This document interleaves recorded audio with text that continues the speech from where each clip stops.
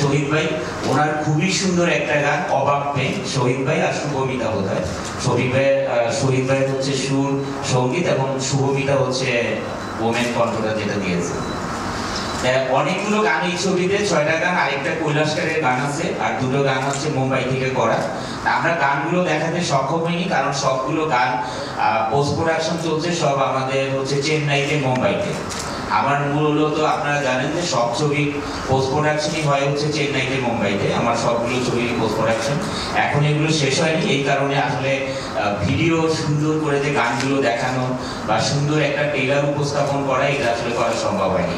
ইনশাল্লাহ, এখন তো গ্রামীণ ফোন হচ্ছে সাউন্ড ট্যাগ রিলিজ করছে। আমরা গ্রামীণ ফোনের সাথে যাচ্ছি। আমাদের মুভি টেলারও রিলিজ হবে। কারণ এটা হচ্ছে একটা ইনকমপ্লিট মুভি টেলার এবং যখন মুভি ট্রেলারটা রেডি হবে এবং সবগুলো গান আমাদের হাতে এসে পৌঁছাবে, তখন হয়তো আমরা চেষ্টা করব হয়তো জিবি হাউস বা অন্য একটা জায়গায় আরও আবার একটা সুন্দর করে ইয়ে প্রোগ্রাম করতে।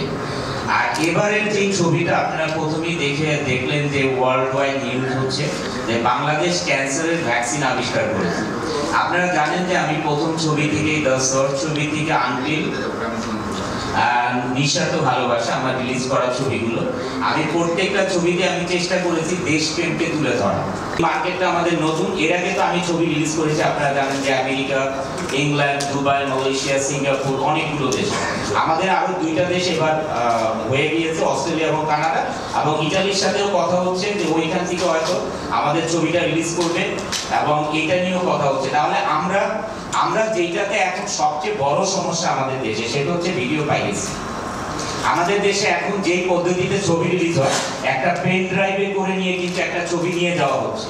আগে যাই হোক থার্টি ফাইভ মিলিমিটারের ছবিটা নিয়েই কিন্তু রাস্তাঘাটে কোনো ক্রমেই এটা ভিডিও পাইরেসি করা সম্ভব হয় নাই হয়তো একটা সিনেমা হলের সহযোগিতায় ভিডিও ভিডিও পাইরেসি হতো। বাট এখন কিন্তু ছবিটা নিয়ে যাওয়া হচ্ছে একটা পেন ড্রাইভে বা একটা ডিভিডিতে একটা ডিস্কে করে।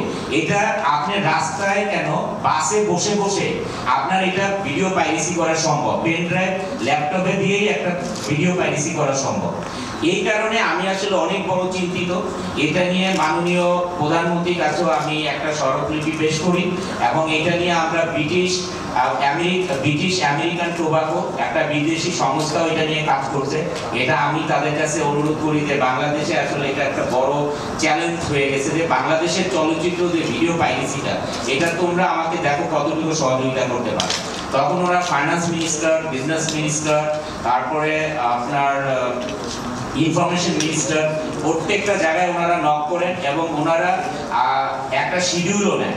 কিন্তু ওইখানে মাননীয় প্রধানমন্ত্রী নিজে সময় দিবেন এটা বলে আশ্বাস দেন ব্রিটিশ আমেরিকান টোবাকোকে এবং উনি যেদিন শিডিউলটা দিবেন, ওই দিন নিয়ে এটা নিয়ে একটা বড় কনফারেন্স হবে যে কীভাবে ভিডিও পাইরেসি এটাকে রোধ করা সম্ভব এবং নিউ টেকনোলজি যেটা এখন ধরেন ইউএফা সিস্টেমে ছবি রিলিজ হচ্ছে এটা যদি আমরা সরকারের কাছ থেকে একটু সহযোগিতা পাই, তাহলে হয়তো ইউএফা দিয়ে ছবি রিলিজ করলে ইউএফা সিস্টেমে হয়তো এই প্রবলেমটা থাকবে না ভিডিও পাইরেসি।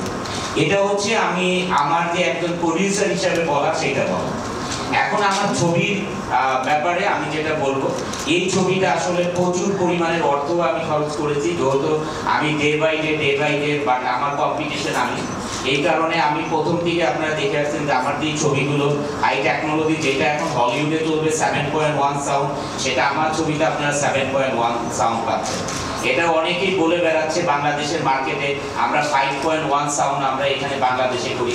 আসলে বাংলাদেশে এই টেকনোলজি এখনও নেই, এরকম কোনো ল্যাবও নেই এগুলো আসলে দর্শকদের ধোকাবাজি ছাড়া কিছুই না। এবং আপনারা যারা নিউজ করেন, তারা অনেকেই নিউজ করেন যে ডিজিটাল ছবি বাংলাদেশে এখন রিলিজ হচ্ছে। আসলে এইটার থেকেও আপনারা, আমি মানে আমি আপনাদেরকে অনুরোধ করব, এটার ব্যাপারে যেহেতু আপনারা ভিডিও সাংবাদিক, এ ব্যাপারে আপনারা একটু সত্যটা তুলে ধরবেন। আসলে ডলবি ছবি অর্থটা কি? ডিজিটাল ছবির অর্থটা কি? একটা পোস্টারে লিখলেই তো এটা ডিজিটাল ছবি হয়ে যাবে না? আর এখন হাই ডেফিনেশন একটা ক্যামেরা এই যে আপনারা দিয়ে ক্যামেরা দিয়ে ভিডিও করছেন, এটা একটা হাই ডেফিনেশন ক্যামেরা তার মানে এইটা দিয়ে ভিডিও করা মানে একটা হাই ডেফিনেশন মুভি নয়। একটা ডিজিটাল মুভি নয়। মুভি বানান প্রডিউসার যে ছবিটি স্পন্সর করা। এটা আপনারা জানেন যে মুম্বাই যে ছবিগুলো হয় এটাতে আপনার ছবি স্টার্টের আগেই দেখেন তো অনেকগুলো স্পন্সর থাকে। আমার এই ছবিটি স্পন্সর করেছে গ্রামীণ ফোন যমুনা। যমুনার অনেকগুলো প্রোডাক্ট আছে বাইক এবং টেলিভিশন ফ্রিজ এগুলো। তারপরে ইফাত চিপ এবং তাদের ওয়াটার শো আর আহ, সজীব এই তো new auto galaxy new auto class যারা ভেহিকেল দিয়ে অনেকগুলো ভেহিকেল দিয়ে ওরা স্পন্সর করেছে। তো এটা আমি যেটা করলাম তারা তো প্রোডাক্ট দিয়েছেন অর্থও দিয়েছেন।